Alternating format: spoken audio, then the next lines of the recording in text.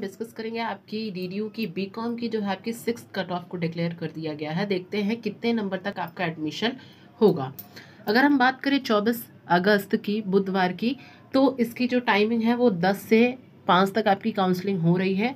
E W S समवर की अगर हम बात करें तो 94 कट ऑफ़ अगर आपका मार्क्स है 94 मार्क्स है तो आप अपना एडमिशन ले सकते हो।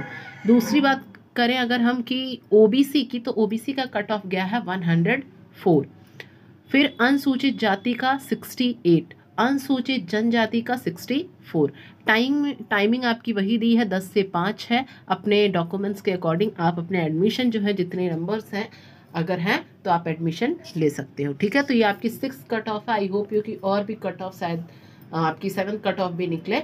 तो जिन बच्चों को अभी डाउट है कि इतने मार्क्स पे होंगे तो थोड़ा सा वेट कर ले मे भी आपका हो जाए। जैसे कुछ बच्चों का है कि ओबीसी में आपका हंड्रेड मार्क्स है तो वो लोग ज़्यादा कंफ्यूज हैं। लेकिन चांसेस हैं, लेकिन कम चांसेस हैं तो थोड़ा सा वेट करिए मे भी आपके कट ऑफ़ डाउन हो जाए। तो ठीक है?